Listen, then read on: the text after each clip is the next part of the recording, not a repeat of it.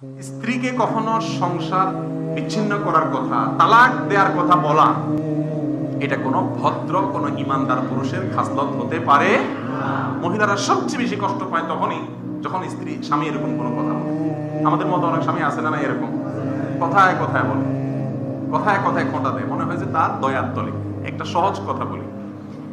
মুসলিম ফ্যামিলিতে স্ত্রীরা স্বামীদের জন্য যত বড় নেয়ামত আল্লাহর জমিনে এর চাইতে বড় আর কোনো নেয়ামত নাই। রাসূল করিম সাল্লাম বলেছেন আর দুনিয়া কুল্লুহা মাতা।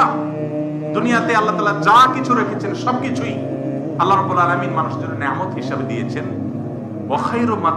দুনিয়া আল আর দুনিয়াতে যত নেয়ামত আছে, এর ভিতরে সবচেয়ে বড় হলো একজন নেক, একজন ভালো স্ত্রী। তার চাইতে বড় উপভোগের বস্তু আর হতে পারে না। আপনি চিন্তা করেন আপনার সন্তান জন্ম দিবে, আপনার চরিত্রটা ঠিক রাখবে, আপনার ঘরে সমস্ত কাজ করবে। আরে ভাই, কাজের লোক যদি রাখেন বাসায়, মাসে কত টাকা দেওয়া লাগে?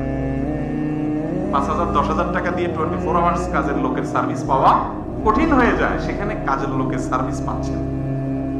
আপনার চরিত্র হেফাজত করতেছে ফুল এরপরে আপনার বাচ্চা কাচ্চা জন্ম দিচ্ছে, আপনার পরবর্তী বংশধর দাঁড় করাই দিচ্ছে।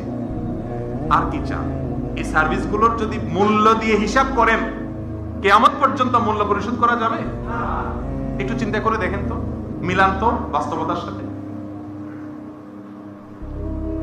এত কিছু সার্ভিস দেওয়ার পরে যদি সে একটু উল্টাপাল্টা বলে, উল্টাপাল্টা করে, একটু বেলাইন হয়, বেলাইনে যায়, তার কথায় আপনি বেলাইনে যায়েন না। কিন্তু তার বেলাইন কাজগুলোকে, কথাগুলোকে হজম করার চেষ্টা করা উচিত কি উচিত না বলে